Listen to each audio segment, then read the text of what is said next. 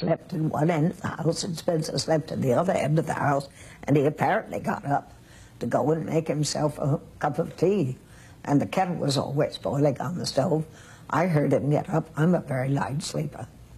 And uh, I heard him go into the kitchen, so I put on my slippers and robe and went out to the kitchen.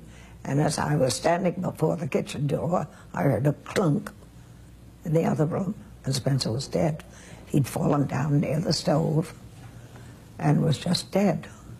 And I called Mrs. Tracy and the kids, and they came, and uh, they made the arrangements.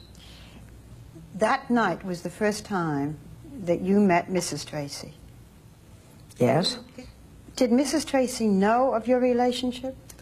I'm sure she must have sort of gathered about my relationship, but she refused to accept it.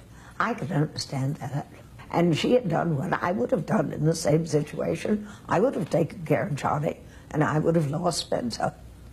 So you can't, uh, I don't think she, you know, what do you do? You can't be definite about everything in life.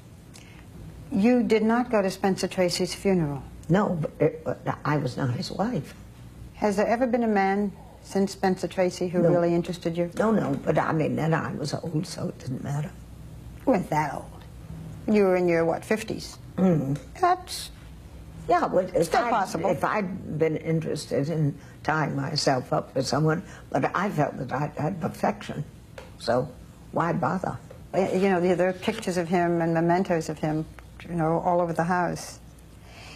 Yet, you wrote a letter about him, which you read on public television. In which you said, I never knew you, I never knew you. I don't think I ever did, but then I don't think you ever know anybody.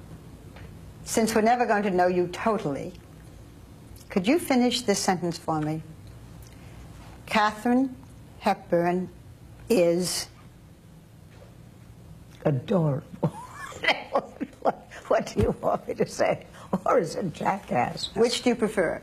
The last one. It's safer. I'm crazy about you, Katharine Hepburn, jackass or adorable. Well, you're very sweet. You're very sweet. You always call me Miss Hepburn, and I call you Barbara. So why don't you shift and call me Kate? I'd like that.